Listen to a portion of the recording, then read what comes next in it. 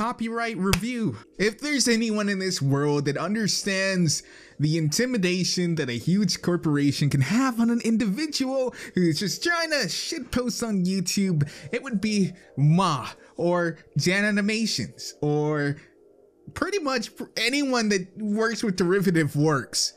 Now, I'm not saying that Minds is as complex as the one we're about to talk about, but I'm just gonna say, uh, being a 14, 13 year old kid and sitting down in front of Hasbro's legal team on a call about your own YouTube channel is pretty dang intimidating. In fact, I didn't even file disputes on claims of videos that even didn't show clips of content because YouTube would just vehemently fuck me in the ass by just deleting my video, automatically signing with Hasbro on a lot of them. God forbid it was a Japanese company. But as you guys should know, and if you don't know, well now you know, PewDiePie is in a war with T-Series, which is an Indian-based music company who is really, I guess, really popular over in India. It's the main destination for all your Bollywood music, and they've been in a race for the number one spot.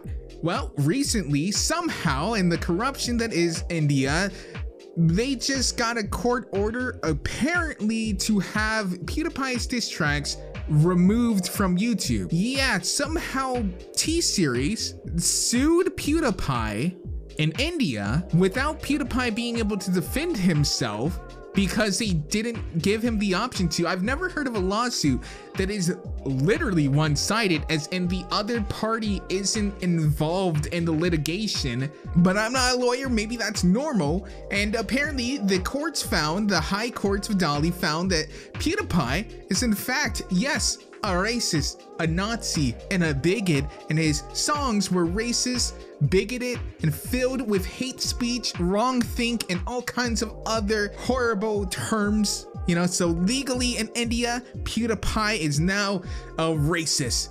Uh, it also said that the songs were defamatory in nature and that uh, T-Series uh, has the right to have these songs removed. And so the courts have apparently, now it hasn't been fully verified, but there are sources saying that the courts have ordered that PewDiePie remove the songs. Remove the songs and disable access from it ever being posted again, which I don't know how they think that is going to work. Once something is on the internet, it is there forever. And trust me, no matter how much you want it to go away, no matter how much you beg for it to go away, it will always be there. And I know that firsthand because God, there are some cringy videos that aren't found on this channel, but unfortunately, certain pony archives have it. And I would never dare tell them to take it down though, because, you know, horses, man. However, this kind of sets a horrible precedent. In India, I'm not sure of their fair use laws. I'm not sure of their copyright and trademark laws. There are certain things that happen where sometimes trademarks are first invented, but first to file. So you can have someone who first invented something, but someone else files for the trademark first which means they win in that country, meaning that they own the trademark in that country. It's a very weird nebulous thing. So I'm not sure on India's laws, but I'm fairly certain that since YouTube is based in America, that they wouldn't kowtow to this. However, India is a huge destination as you can see because of the rising popularity in T-Series, you can tell that that's a lot of money that would be lost if they did get on India's bad side. So if we see YouTube cuck out to India, we know why.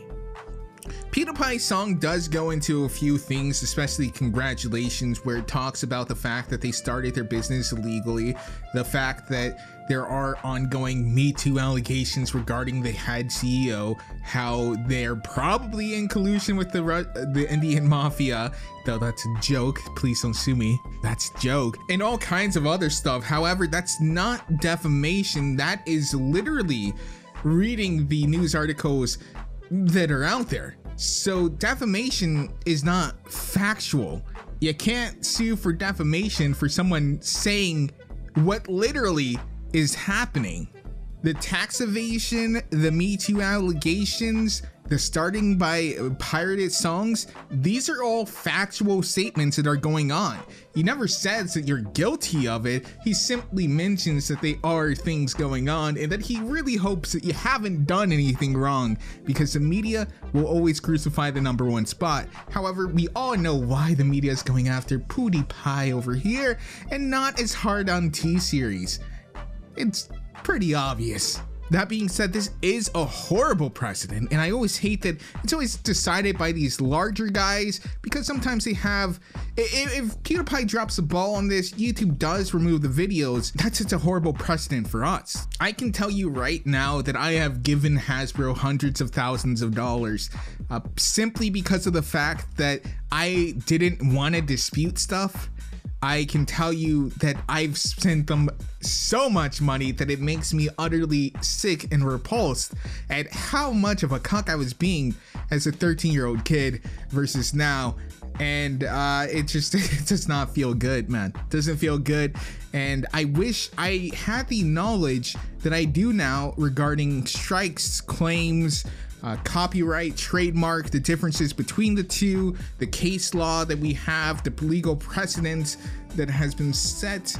And I wish I had all that information. And this seems like information that YouTube should give you and that YouTube should have. And remember, YouTube used to say they would protect us that's been gone for quite a long time. So it's going to be really interesting to see how this plays out. T Series is by and large more relevant, I guess, than PewDiePie simply because of its nature. It's a music thing. People are going to listen to music more than, than they're going to rewatch PewDiePie videos. It's just how it's going to be. That being said, PewDiePie will always be the number one subbed creator until he's dethroned.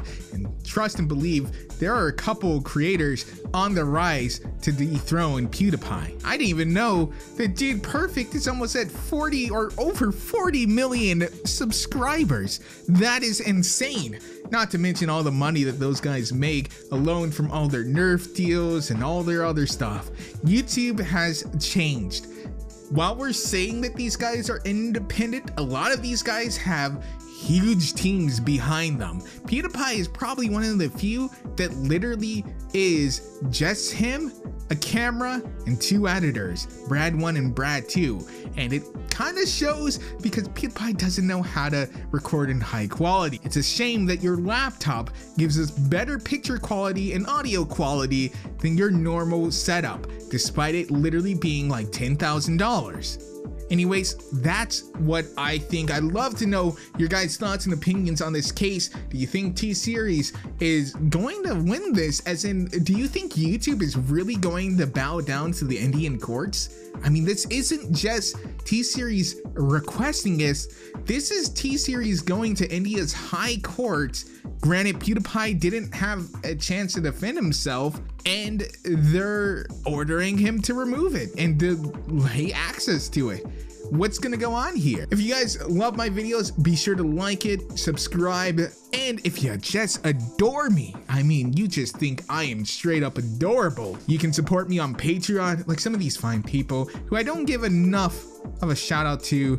I do know my Patreon is pretty much like a tip jar at this point. TWT, the Demon Fox, I has Music 515, and Peter Keogh-Lynn and Leslie Wykowski. Some of you guys have been literally with me for two years. That's incredible. I can't believe you actually have been giving me your shekels for that long, but I appreciate it. And I'll see you guys in the next one.